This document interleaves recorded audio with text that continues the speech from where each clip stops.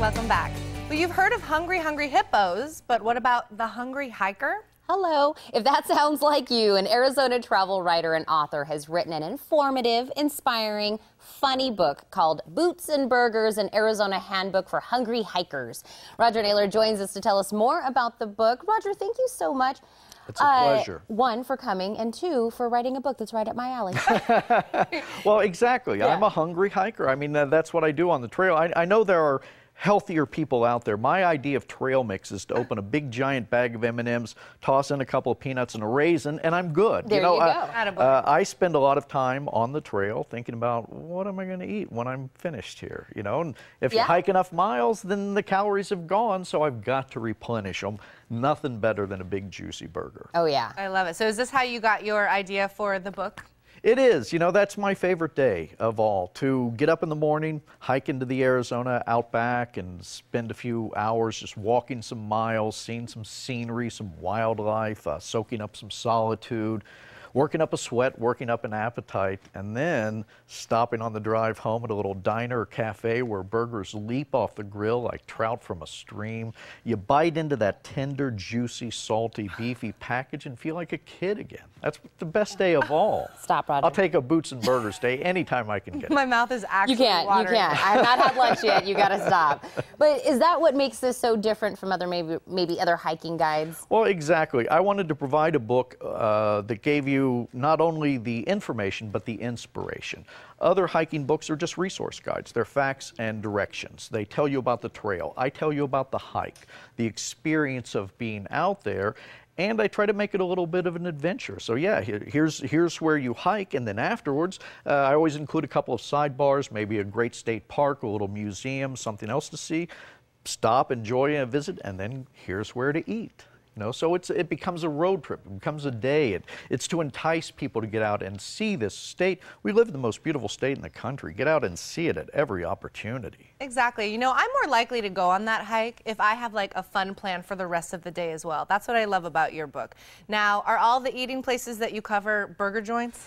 Uh, no, there. I've got a couple of barbecue places. I've got some hot dog stands. I've got ice cream parlors. I've got a pizza parlor, some Mexican restaurants. My wife is a vegetarian. She found places, things to eat at just about most of the places. But you know, about 80% are uh, burgers because to me, burgers are the king of comfort food because they're a flashback on a bun. They're that childhood memory. You know, a good burger, a genuine burger, transports you back to a more innocent time at first bite.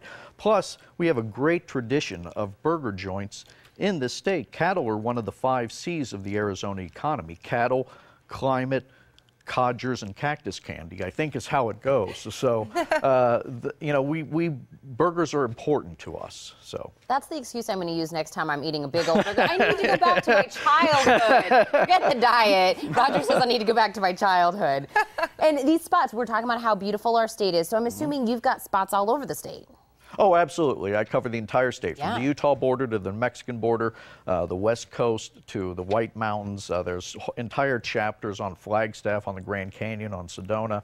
Uh, so, whatever you want, there's a, a, range of trails. I try to entice people to get out into every corner, you know, explore. And while you're out there, then yeah, you want to know where to eat, maybe where to stay, or some other little interesting tidbit about the place. And you say a range of trails. Is that does that mean that maybe we are covering the beginner? Through the advanced and every I, stage of hiker? I made a point to include some very easy trails. Most of them are kind of in the moderate range. Okay. And then there are a few that are very difficult, especially like the Grand Canyon or the hike up to Humphreys Peak, the highest mountain in Arizona. Those are very tough uh, trails and you want to be an experienced hiker. But most of them, uh, just about anybody can uh, tackle or uh, with a little workout. It's to encourage you to get out and you maybe you start with a couple of the easy ones and then it gets a little harder as you go. Well, I know you mentioned the Grand Canyon in that list of places, and I had asked you before, do we already have another book in the works? And you do. I do. I am uh, working with the Grand Canyon Association to write a book on Emery and Ellsworth Kolb, the famous photographers.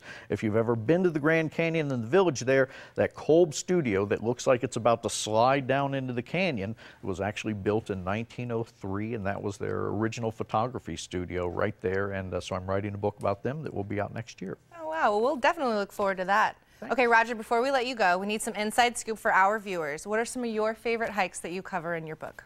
Uh, around here, Canyon Loop uh, in the Catalina State Park is really beautiful, and I'm going to head there this afternoon because I think some good wildflowers are happening right on the Sutherland Trail, uh, right there. Um, one of my favorites is uh, Cochise Trail in the Dragoon Mountains, and then uh, another one is the Wildcat Trail in Monument Valley. I'm a huge Western movie fan, and the idea uh, that you can hike around the Mitten, the West Mitten, on the floor of Monument Valley all by yourself is pretty amazing.